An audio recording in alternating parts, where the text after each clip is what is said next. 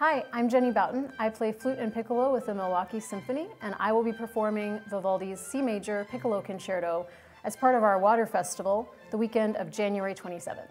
What I love about this concerto is the variety of colors and textures that he is able to display using really simple structures, scales and arpeggios, somehow manages to be extremely lively and bubbly if we're going with the water theme. A lot of technical precision is required, but it's very fun and idiomatic. My favorite thing about this concerto is the second movement.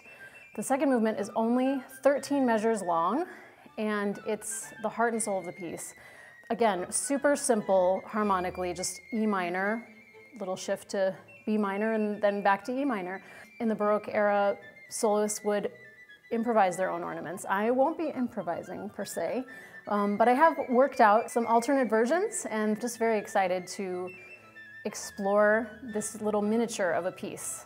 I feel like there's such a great feeling of trust and friendship in our orchestra. I, I feel extremely supported by my colleagues and there's no one else that I would rather have behind me while I'm standing at the front of the stage. I am also comforted by the fact that I get to share this concert with my dear friend Alana Sedipin, um, who will be playing the other Vivaldi concerto on this concert. And it'll be a really wonderful experience to get to be soloists together, although not at the same time on the same program. I'm also very excited to collaborate with Nick McGegan on the harpsichord. He's a wonderful Baroque specialist and also a flutist, which is exciting for me to have that kind of camaraderie with someone who understands my instrument. Another thing that's interesting about this concerto, we're not sure if it was written for the piccolo per se. Um, it was written for the sopranino, uh, Vivaldi used that term sometimes to refer to uh, a small recorder.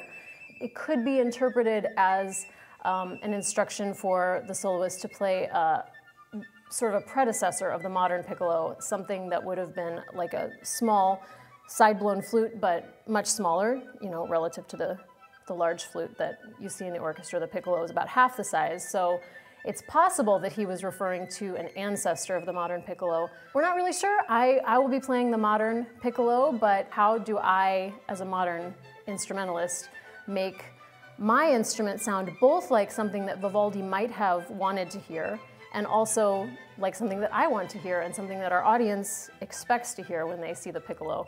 It sort of feels like time travel somewhat, that we're um, able to draw those connections with musicians 400 years ago or 300 years ago and then bring it to life today. I would say I've been preparing for this for a very long time because the Vivaldi piccolo concertos, and in particular this concerto, um, are core repertoire for piccolo players. Every piccolo audition includes some portion of this concerto, so I've, I've been working on my interpretation of this piece for a very long time, but it's a very short piece. It's only about nine minutes, so I can't, uh, I can't really do it all day long. It, it would probably drive my family even more crazy. I'm very excited to see you all at the Allen Bradley Concert Hall as part of our Water Festival at the end of January.